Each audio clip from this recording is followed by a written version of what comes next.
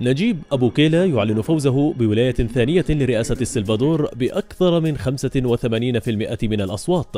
أبو كيلا البالغ من العمر 42 عاما. أعلن نتيجة الانتخابات بنفسه على منصة إكس قائلا إنه قد فاز برئاسة السلفادور لولاية ثانية.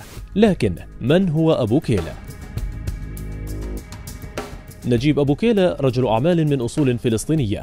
ولد عام 1981 في سان سلفادور لأب ذي أصول فلسطينية. دخل عالم ريادة الأعمال في سن صغيرة وكان الوكيل الحصري لمنتجات شركة ياماها في السلفادور. تولى رئاسة السلفادور عام 2019 فيما يلقب نفسه بأروع دكتاتور في العالم وحقق شهرة واسعة في البلاد بسبب حملته الشرسة ضد العصابات والتي تم فيها اعتقال أكثر من واحد في المئة من سكان البلاد غير أن الاتهامات تلاحق إدارته بارتكاب انتهاكات واسعة لحقوق الإنسان فيما كشفت إحصائيات أن حوالي ثمانية من كل عشرة ناخبين يؤيدون أبو كيلة.